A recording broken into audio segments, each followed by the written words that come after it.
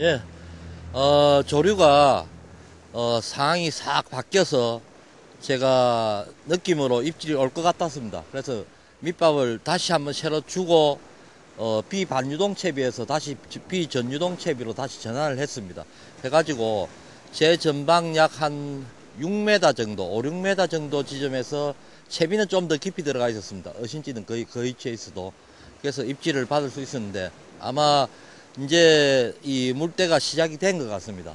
지금 약 한 45 정도 되는 씨알인데 어 최고가 상당히 높습니다. 잘 생겼습니다. 낚시를 계속하면 입질을 더 받을 수 있지 않을까 그런 생각이 됩니다. 예, 팔이 다 아픕니다. 지금 이 자리는 일단 원거리보다는 어, 한시 방향으로 제가 서 있는 방향에서 한시 방향으로 약 한 7, 8m, 약 10m 이내로 채비를 가볍게 캐스팅을 해주고 그리고 이 대를 들어서 이 가벼운 채비이기 때문에 채비를 일단 입수를 시킵니다. 천천히 입수를 시켜서 지금 여기 수심이 보기에는 상당히 깊어 보이는데 실제로 제가 낚시를 해보니까 만조시에도 어, 약한 8, 8m, 9m 이상을 넘지를 않는 것 같습니다. 이 전유동 낚시를 하는 입장이다 보니까 완전한 수심은 제가 정확하게 파악을 못 하는데 대략 제 느낌으로는 그 정도입니다. 그 정도인데 일단 그 정도 수심을 채비를 가볍게 밀어서 넣어주고 난 다음에 조류가 지금 왼쪽으로 뻗을 때 조금씩 채비가 흐르는 만큼 견제를 해주면서 흘려주셔야 됩니다. 그냥 어, 수심이 그래 깊지 않은 상황이기 때문에 대충 흘려버리시면 미끌림 현상이 나타나고 그리고 이 채비가 진행을 하기 어려운 그런 상황이기 때문에 조금씩 흘려서 약 전방 6, 7m 11시 방향에 어, 부근에 어신지가 도달을 하게 되면은 본격적으로 견제를 들어가야 됩니다. 예, 저 포인트를 집중적으로 노리는 입장이기 때문에 견제를 좀 강하게 걸어줬다가 채비를 조금 줬다가 당겼다가 줬다가 당겼다가 이런 동작을 반복을 해주시는 게 좋습니다.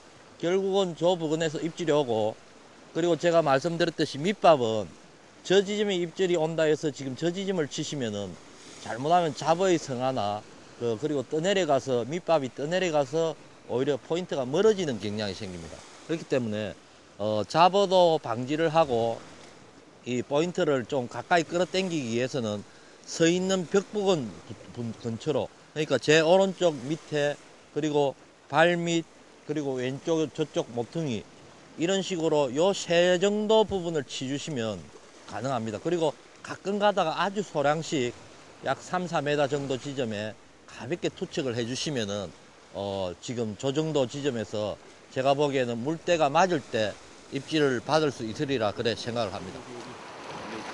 꾸준히 밑밥을 쌓아 나가며 또다시 감성돔의 입질을 기다리는 이성규 씨. 좋은 조류 흐름을 보아 수면 위로 부상한 잡어때만 피하면 입질은 계속 이어질 듯하다. 네, 지금 조류가 조금 전에 입질을 할 때 상황보다 좀 안쪽으로 밀려 들어오고 그렇게 해서 이 채비가 좀 무거운 느낌이 있습니다. 이 전유동 낚시는 이 채비가 무거우면 안으로 밀려 들어오는 걸 또 더하기 때문에 그래서 지금 제가 목줄 중간 정도에 지환 뽕돌을 하나 달고 있는데 이 뽕돌을 지금 제거를 합니다.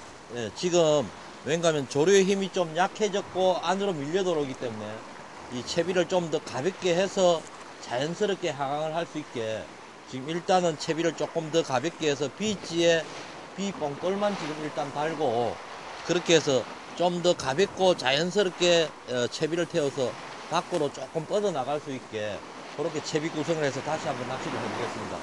아마 그렇게 하면은 채비가 좀더 어, 유연하게 흐르지 않을까 그리고 조류가 좋아지면 입질도 받을 수 있지 않을까 그런 생각이 듭니다. 미약해지는 조류 흐름에 채비를 조금 더 가볍게 해주는 이성규 씨. 만조 시간이 다 되어가며 갯바위로 점점 차오르는 수면을 보며 높은 자리로 이동해 채비를 내려주는 모습이다. 조류가 또 살살 맞아지고 있습니다. 예, 지금 그 아까처럼 또 비슷한 조류가 지금 들어오고 있는데 아, 잠깐만요.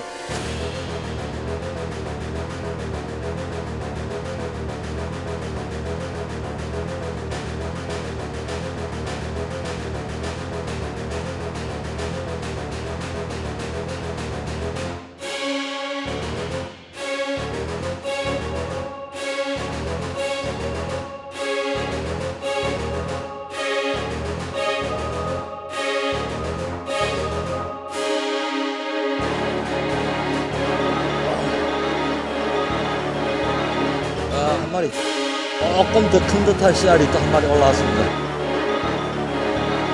아, 씨알이 괜찮습니다. 여기 너무 높아서 열체질 하기가 힘이 들어 제가 내려가야 되겠습니다. 약간의 힘겨루기 끝에 수면 위로 올라온 녀석은 역시 준수한 씨알의 암성돔이다. 밑에 내려서 있던 자리가 제가 그 햇빛이 좀 반사되고 어, 물빛 때문에 어신지가 좀 잘 보이지 않아서 높은 자리로 올라갔습니다. 그 조류가 어, 아까 상황과 비슷하게 맞아 들어가는 것을 보고 좀 긴장을 해서 입질을 올 거라고 좀 생각을 했었습니다. 역시 또 조류가 맞아지니까 입질이 또 들어왔습니다. 자벌을 피해 두 마리째 감성돔을 올려내는 사이 만조 시간이 다 되어가고 어느덧 철수 시간도 다가온다. 이번엔 모습을 드러낸 녀석은 볼락이다.